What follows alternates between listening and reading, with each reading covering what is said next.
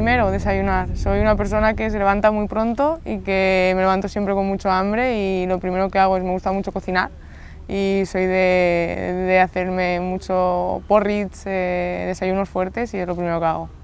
Yo salí de la cama.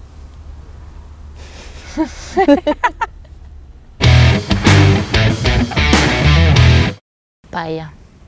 Y es, no me gusta ni el sushi ni la paella, pero antes que el sushi la paella. Yo soy,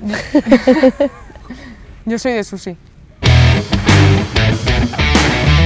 La soledad de, de, las lesiones, porque he pasado muchas lesiones largas y al final eh, el fútbol es un deporte de equipo, el tuyo es más individual, pero yo estoy acostumbrada a esa dinámica de, de equipo y cuando te lesionas de lesiones tan graves y, y tienes que pasar tantos meses en un gimnasio sola, ha sido muy muy duro y, y, bueno y al final me hizo crecer mucho. Para mí lo más duro creo que fue al principio porque económicamente no, no vengo de familia que tenga mucho dinero y era muy difícil encontrar un patrocinador. Entonces pues iba con mi tío, con mi padre, hicieron un equipo incluso de karting y empezar y luego pues ves como la gente pues va confiando en ti, pero al principio es bastante duro porque claro, no conoces nada del mundo, no, nadie te apoya y es un punto bastante importante. Con mi abuelo. Yo con mi hermana. Mi hermana. A mí las cosas que no controlo. A mí lo que más miedo me da...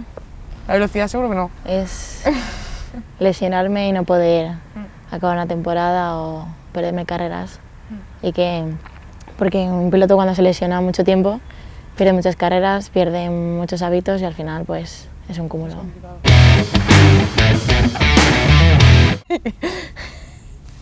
Te ha tocado la pregunta primero, yo tengo tiempo de pensar.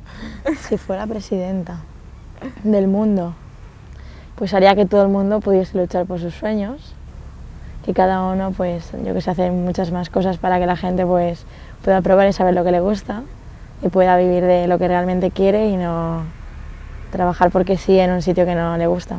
Yo, como dice Nerea, apostar un poco también por, el deporte femenino, por ejemplo, que, es lo que dice ella, que igual eh, tienes más limitaciones, tienes, eh, el camino muchas veces es más duro porque no encuentras ese apoyo y, creo que, sí que tiraría por ahí porque al final las que estamos metidas dentro muchas veces tenemos que, que luchar eh, el doble y, y yo tiraría por ahí.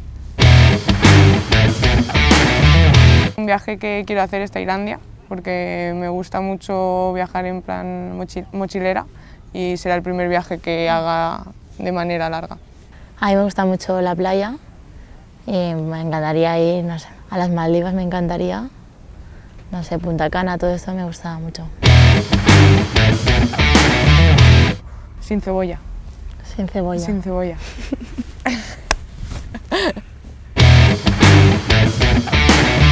A mí me van las chungas, ¿eh? Pero tengo que dar las gracias a mi familia por, por apoyarme y confiar en mí y ayudarme a que pues, esté aquí hoy actualmente. Y pues también sobre todo a los patrocinadores, a Praga, High Service, por, por también ayudarme a, llegar a donde estoy. Yo a, mi familia también, porque desde que tuve que salir de Teruel yo jugaba allí y eh, apostaron mucho por mí, porque tenían que, mi padre tenía que dedicar su vida a traerme y llevarme a Valencia para entrenar. Y claro, si no, no hubiese sido por ellos, ahora mismo no, no estaría donde, donde estoy. Y les quiero agradecer eso. Teletransportarme, seguro. Sí, sí. Yo leer mentes.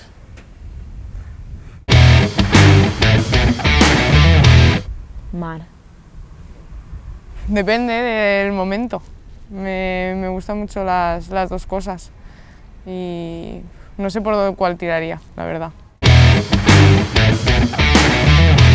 Hall of Fame. Cabatapi de Foster.